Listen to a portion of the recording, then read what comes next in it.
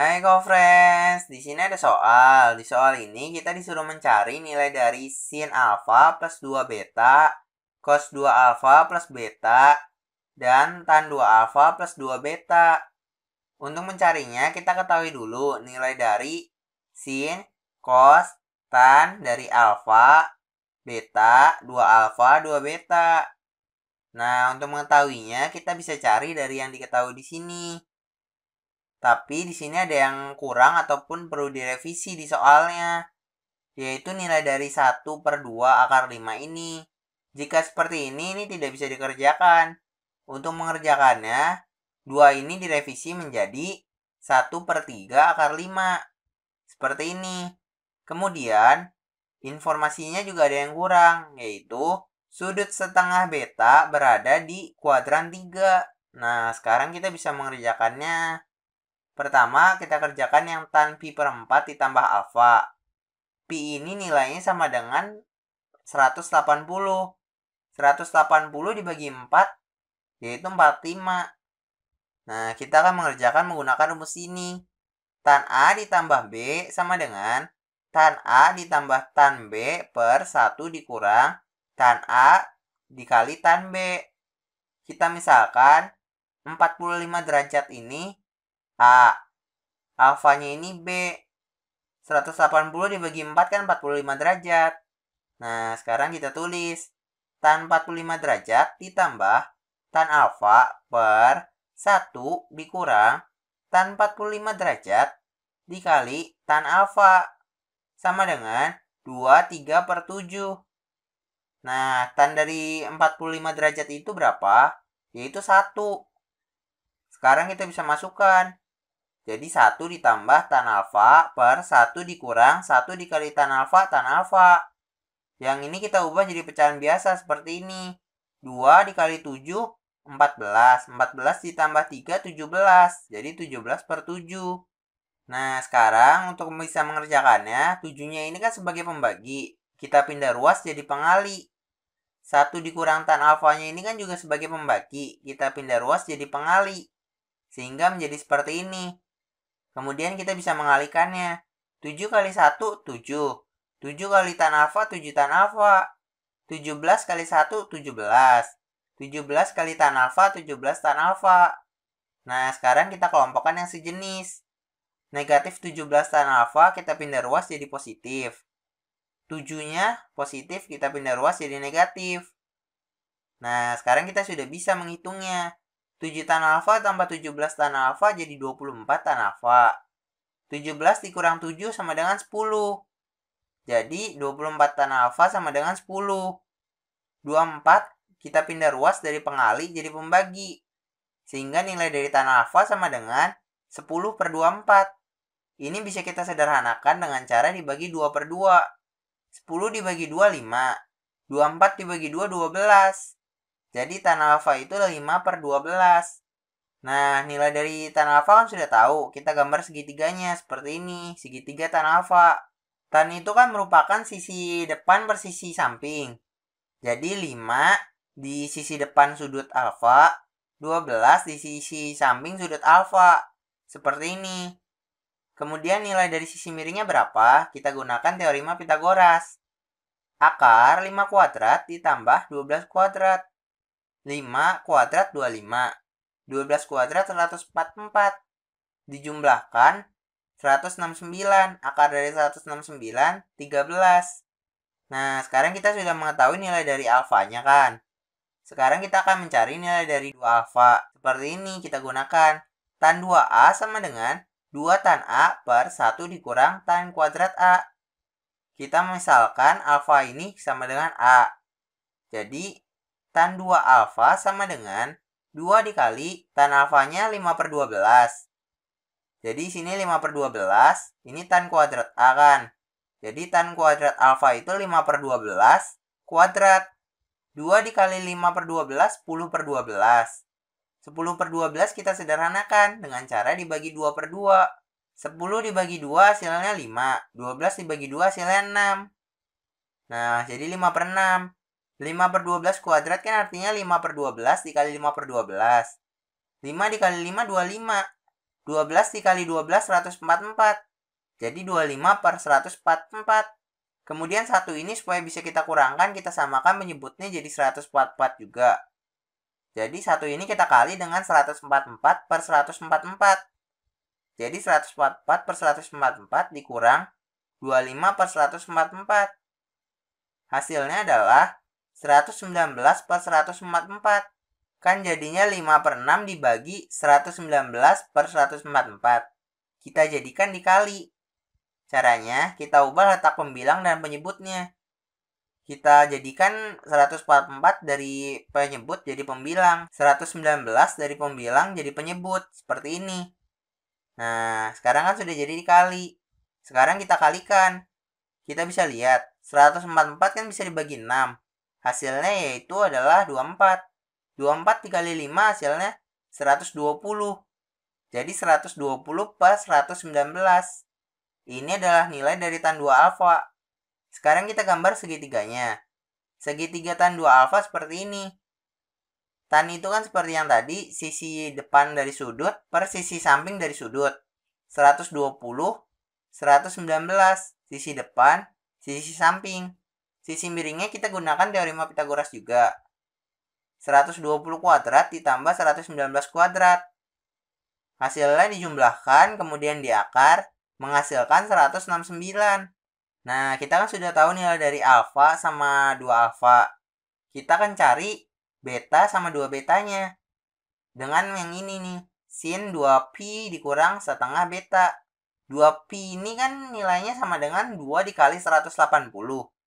Jadi kan 360. Jadi kita bisa gunakan relasi trigonometri seperti ini. Sin 360 derajat dikurang A sama dengan negatif sin A. Karena ini negatif sin A, berarti kita misalkan setengah beta ini A. Jadinya kan seperti ini, negatif sin setengah beta sama dengan 1 per 3 akar 5. Nah, setelah seperti ini kan sin setengah beta masih nilainya negatif. Kedua ruas kita kalikan dengan negatif, sehingga ini menjadi positif. Negatif sin setengah beta dikali negatif sama dengan sin setengah beta. 1 per 3 akar 5 dikali negatif, jadi negatif akar 5 per 3. Akar 5 dikali 1 kan akar 5. Nah, sekarang kita sudah tahu nilai dari setengah beta sama dengan negatif akar 5 per 3. Ini berada di kuadran 3. Kuadran 3 itu hanya tan yang nilainya positif. Jadi nilai sin sama cos itu negatif. Sekarang kita akan mencari nilai dari betanya. Kita akan menggunakan rumus ini. Cos 2A sama dengan 1 dikurang 2 sin kuadrat A. Nah, sekarang kita masukkan. A-nya kita misalkan setengah beta. Jadinya kan cos 2 setengah beta sama dengan 1 dikurang 2 sin kuadrat setengah beta. Nah, nilai dari sin kuadrat setengah beta berapa? Di sini kan yang diketahui sin setengah beta sama dengan negatif akar 5 per 3. Di sini sin kuadrat kan, berarti negatif akar 5 per 3. Jadi dikali negatif akar 5 per 3, seperti ini. Nah, sekarang kita bisa cari nilainya. 2 dikali setengah beta kan sama dengan beta. Nah, di sini negatif kali negatif positif. Akar 5 kali akar 5 sama dengan 5. 3 dikali 3 9. Jadi 5 per 9 dikali 2. 5 dikali 2 10. Jadi 10 per 9. Satunya kita jadikan pecahan dengan penyebut 9. 1 dikali 9 per 9. Jadi seperti ini. 9 per 9 dikurang 10 per 9 berapa?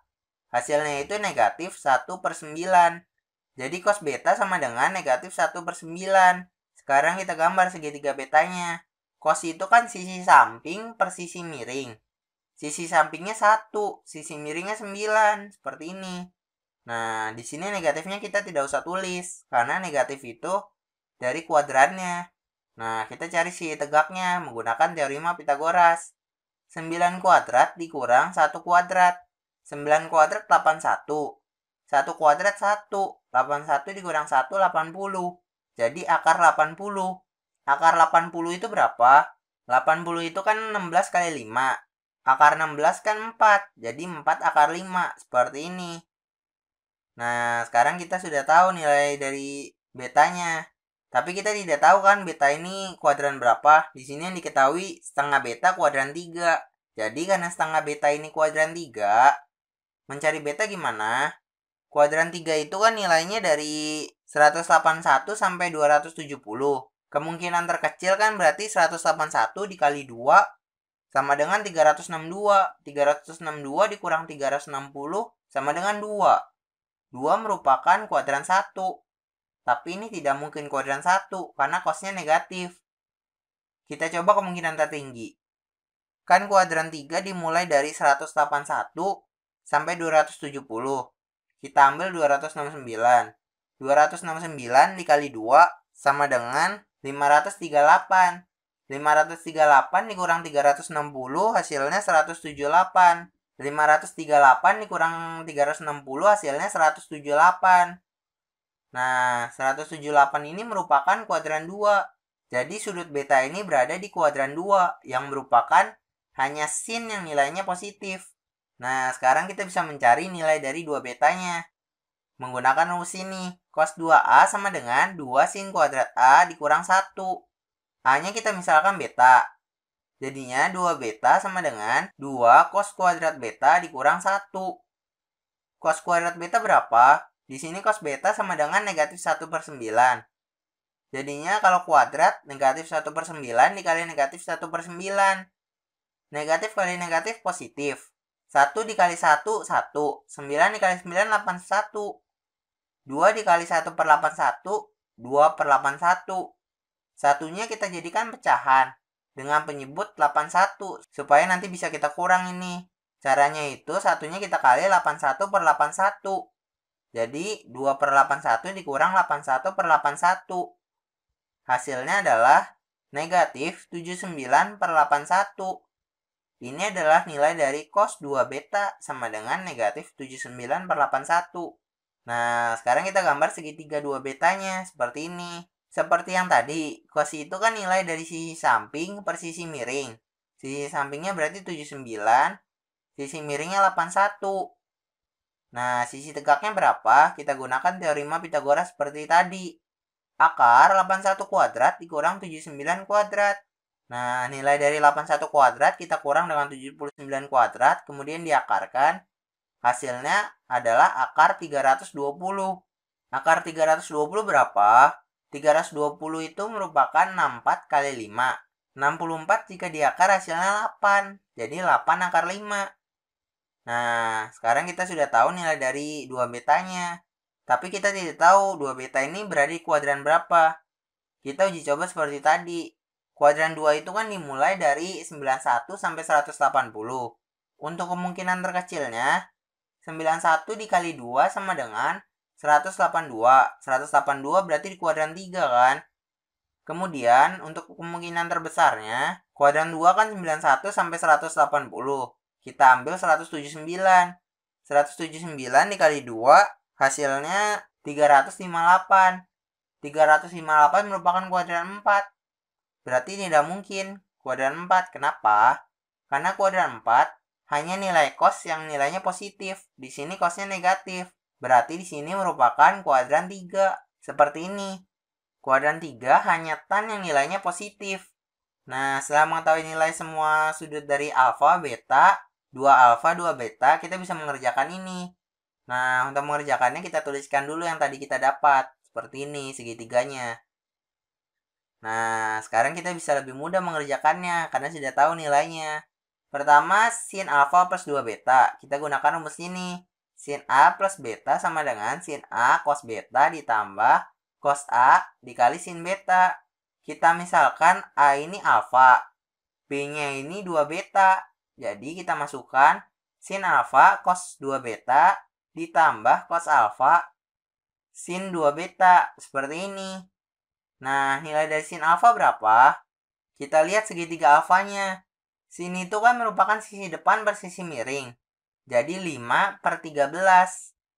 Nah, kita masukkan. Kemudian cos 2 beta, kita lihat segitiga 2 betanya. Cos itu merupakan sisi samping bersisi miring. Jadi 79 per 81. Di kuadran 3, berarti cosnya negatif. Kemudian cos alfa. Cos alfa kita lihat lagi segitiga alfa. Cos itu sisi samping bersisi miring, jadi 12 per 13.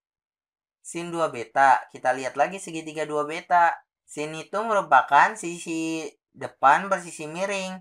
Jadi 8 akar 5 per 81. Nah, sekarang kita bisa menjumlahkannya. 5 kali 79 hasilnya 395. 13 kali 81 hasilnya 1053. Negatif kali positif negatif. Kemudian yang ini 12 kali 8 akar 5. Hasilnya 96 akar 5. 13 kali 81 hasilnya 1053. Positif kali positif positif. Nah, ini kita jumlahkan. Di sini kan negatif, di sini positif. Jadi kita bisa tulis seperti ini. 96 akar 5 dikurang 395 per 1053. Karena penyebutnya sama, makanya kita bisa gabungkan seperti ini. Ini adalah hasil dari yang sin alfa plus 2 beta. Kemudian cos 2 alfa plus beta. Kita gunakan rumus cos A plus beta sama dengan cos A cos beta ditambah sin A sin beta. Kita misalkan A ini 2 alfa, B ini beta. Jadinya cos 2 alfa cos beta ditambah sin 2 alfa sin beta. Nah, kita masukkan nilainya. Cos 2 alfa, kita lihat segitiga 2 alfa. Cos itu sisi samping bersisi miring. 119 plus 169. Kemudian cos beta. Cos beta itu merupakan sisi samping bersisi miring. Jadi 1 per 9. Seperti ini. Di sini kuadran 2. Hanya sin yang nilainya positif. Jadi cosnya negatif. Kemudian yang ini, sin 2 alfa. Kita lihat segitiga 2 alfa. Sin itu sisi depan per sisi miring. Jadi 120 per 169. Kemudian sin beta. Kita lihat segitiga betanya. Jadinya kan sin, sisi depan bersisi miring. 4 akar 5 per 9. Seperti ini. Sekarang kita kalikan dulu, baru jumlahkan nanti. 119 kali 1, 119. 169 kali 9, 1521. 120 kali 4 akar 5, 480 akar 5. 169 kali 9, 1521. Nah, ini seperti tadi. Di sini negatif, sini positif. Jadi kita jadikan 480 akar 5 dikurang 119 per 1521.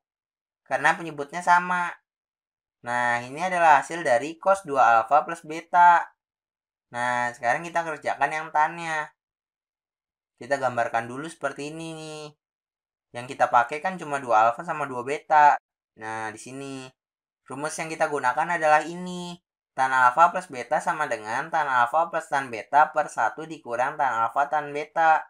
A-nya kita misalkan 2 alfa. B-nya kita misalkan 2 beta. Jadinya tan 2 alfa ditambah tan 2 beta per 1 dikurang tan 2 alfa tan 2 beta.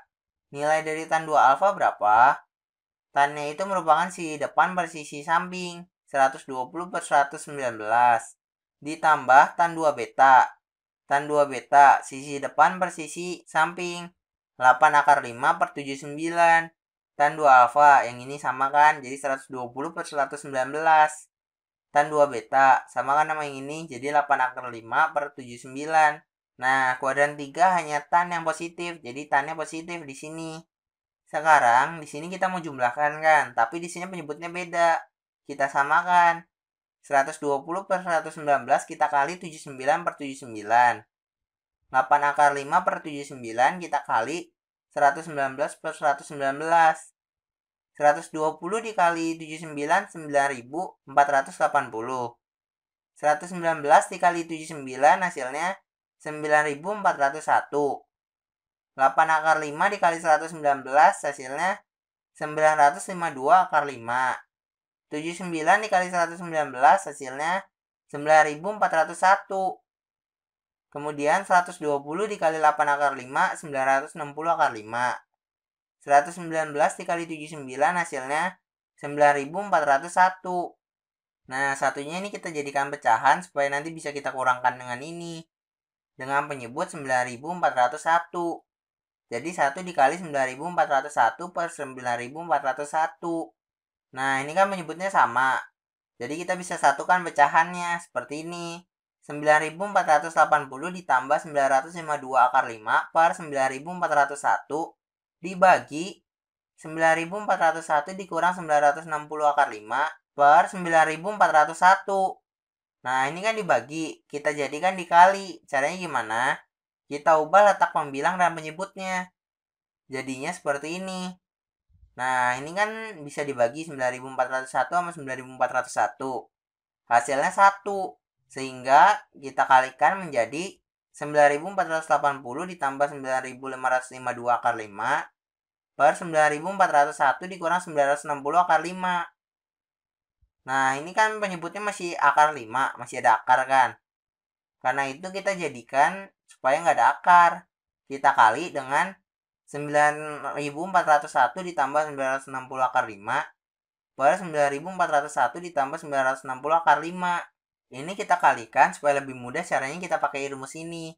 X dikurang Y dikali X ditambah Y sama dengan X kuadrat dikurang Y kuadrat. 9401 kita misalkan X. 960 akar 5 kita misalkan Y. Di sini min, di sini plus. Sehingga menjadi seperti ini. 9401 kuadrat hasilnya 88.378.801. 960 akar 5 berapa? 960 kuadrat dikali 5 kuadrat kan 5. Jadi 960 kuadrat dikali 5. Hasilnya 4.608.000. Nah, ini kita kurangkan sehingga menjadi 83.770.801. Yang atas kita tidak usah kalikan. Jika ingin mengalikan bisa juga dengan perkalian pelangi. Cuma hasilnya juga tetap tidak bisa disatukan karena ini akar, di sini juga masih akar. Jadi kita tidak bisa satukan juga, sehingga hasilnya bisa kita tulis seperti ini. Ini juga termasuk hasil sederhananya. Jadi jawaban dari tan 2 alfa plus 2 beta adalah ini. Sampai ketemu di soal berikutnya.